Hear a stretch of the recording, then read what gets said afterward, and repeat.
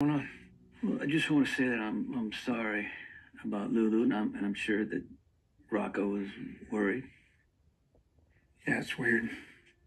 You know, I mean, his mother's in a coma for so long, and, and I, I don't think he thought that anything else was going to happen, and then it starts to look like she may be dying, and, and I don't think he was ready for that. We sent him off to baseball camp, and that was just a distraction for a little bit, but that's it's weighing on him. What about you? How you getting through it?